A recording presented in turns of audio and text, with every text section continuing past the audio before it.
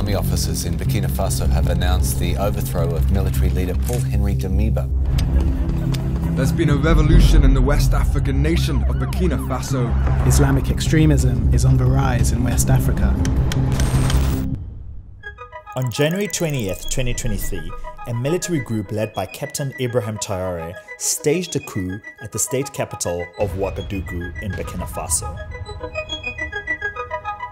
After a successful coup attempt, he appeared on national TV and proclaimed himself the president of the nation. The military leaders had overthrown their own lieutenant turned president and promised to tackle the volatile security situation. He demanded the departure of French troops who were aiding in the fight against Islamist militants, giving them one month to withdraw their troops and leave the country. France has maintained both permanent and temporary military installations in West Africa. Across this region, the French have had more than 5,000 troops, including drones, combat aircraft, helicopters, armored vehicles, logistics, both tactical and strategic. So how did this 36 year old guy, Ibrahim Traore, become the president of the transition government of Burkina Faso? Why did he expel French troops after the country's long-standing history with France? Burkina Faso has had a long history with coups, dating back to the 1960s. In the 1960s, Burkina Faso gained independence from France after French presence in Burkina Faso during colonialism in 1904 when the French formally proclaimed the territory as Upper Volta, integrating it into French West Africa. In 1966, Maurice Yaméogo is ousted in a military coup led by Sangoulé Lamizana, who becomes president. In 1980, Lamizana is overthrown in a coup led by Colonel Saye Zerbo. And in 1982, Zerbo is ousted in a coup led by Jean-Baptiste Ouédraogo. And in 1983, Ouédraogo is overthrown in a coup led by Thomas Sankara, who then becomes president. In 2022, the West African nation experienced another military coup led by this guy, Lieutenant Colonel Paul Henri Damiba, that ousted President Roch Marc Christian Kabore, citing failure to address jihadist insurgency. A decision that would paradoxically contribute to Damiba's eventual downfall, Damiba elevated Ibrahim Traore to the position of artillery chief within the Kaya regiment located in the central part of the country. Since 2015, Burkina Faso has been caught up in an escalating wave of violence attributed to rebel fighters allied to both Al Qaeda and the ISIL ISIS group in jihadists. African nations have a growing problem. Countries across the continent are facing attacks by Islamist inspired insurgencies.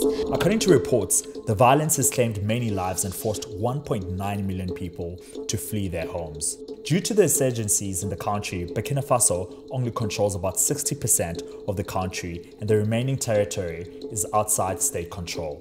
Despite having more than 40% of the population living below poverty line, Burkina Faso is known for its mineral resources, especially gold.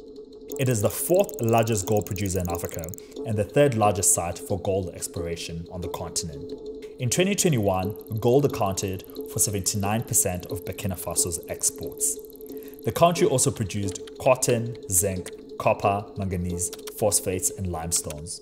You can see a link of violent extremists and the country's gold mines as shown here.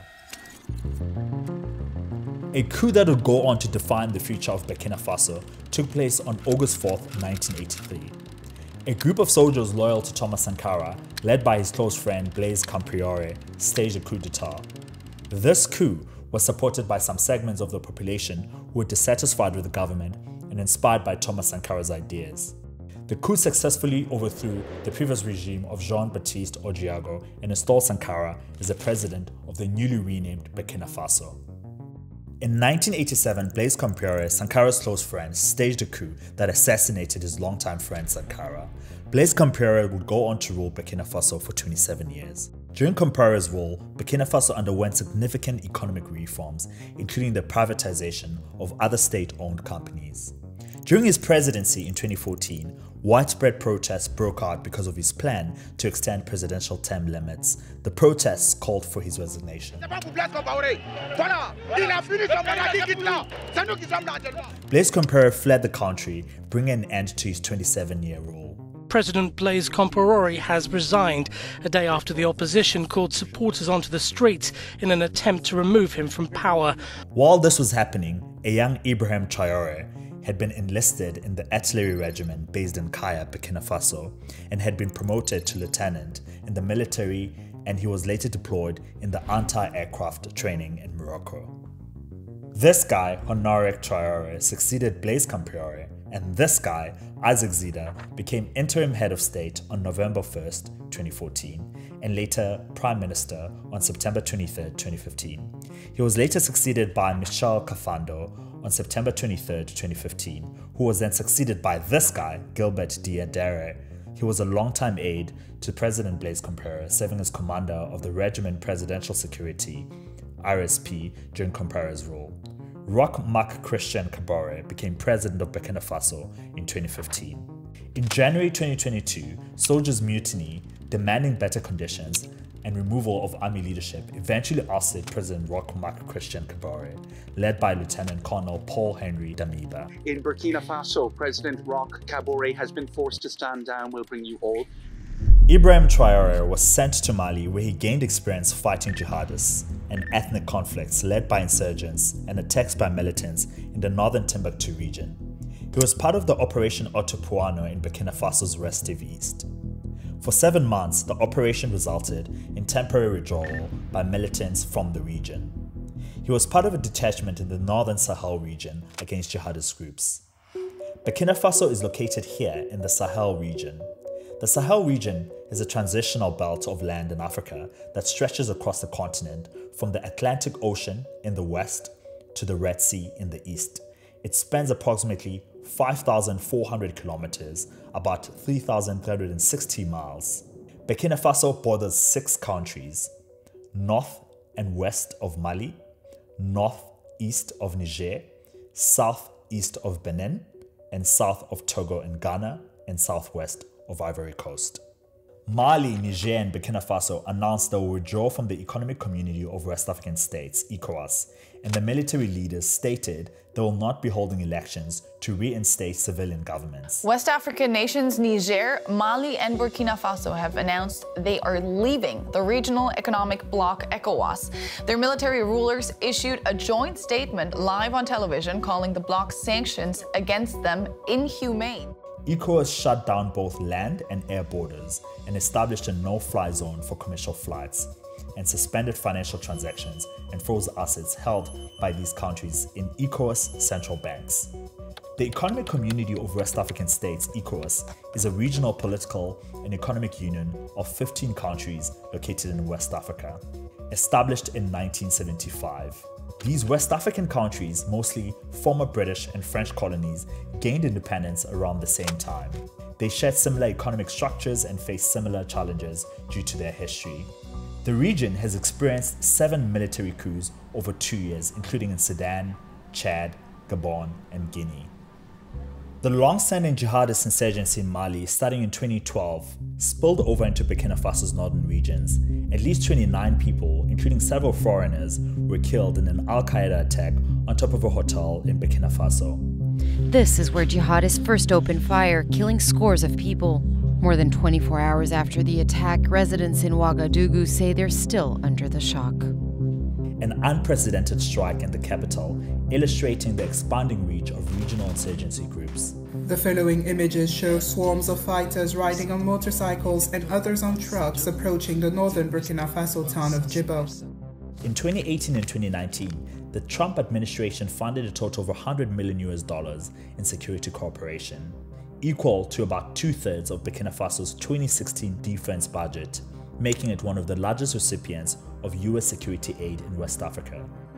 Ibrahim Traore discussed possible military cooperation with the Russian delegation, and the country received about 25,000 tons of free wheat from Russia. Russia reopened its embassy in Burkina Faso, which had been closed since the collapse of the Soviet Union in the 90s. Ibrahim Traore says his goal is to secure peace in the country. The country received a shipment of new military equipment from China, including armored vehicles, self-propelled mortars, and various weapons and ammunition. Last August, Burkina Faso's army received a shipment of Emirati-made MRAP vehicles. On June 2023, Burkina Faso signed a contract with Egypt's Kader factory for a number of FAHD armored personnel carriers. And in January 2023, Turkey delivered the first batch of four armored fighting vehicles to Burkina Faso's army. According to the US Developmental Agency, USAID, Burkina Faso also has one of the highest electricity costs in Africa. Russia is said to be building a nuclear plant to meet Burkina Faso's energy needs through its energy company, Rosatom. Burkina Faso is one of the least electrified countries globally, with about 21% of people connected to power. Burkina Faso also imports about 17% of its electricity and relies on hydro and thermal power. The military expenditure of Burkina Faso increased from 562 million US dollars in 2022 from 458 million US dollars in 2021. At least 800,000 people have already been cut off from major roadways and are effectively living under militant jihadist group sieges. Burkina Faso is a religiously diverse country, with Islam being the dominant religion. According to the latest census, 63.8% of the population adheres to Islam, and around 26.3% of the population practices Christianity, with around 9% practicing African traditions. An estimated 70 languages are spoken there, which about 66 are indigenous. Mooré is spoken by about 52.5% of the population. The official language was French, which was introduced when France colonized Burkina Faso in 1919. The country abandoned French as an official language. This map shows the ethnic groups across the country. Burkina Faso has experienced a tumultuous history marked by several military coups over the years, from the early days of independence to more recent times. The country has witnessed political instability and transitions of power through various coups. Despite these challenges, Burkina Faso remains rich in natural resources, including gold, cotton, zinc, copper, and other minerals, making it a significant player in the regional economy. As the land of the honest, Burkina Faso has the potential to achieve peace and prosperity. The country has the opportunity to overcome its turbulent past and chart a new path towards success and stability for future generations. Merci.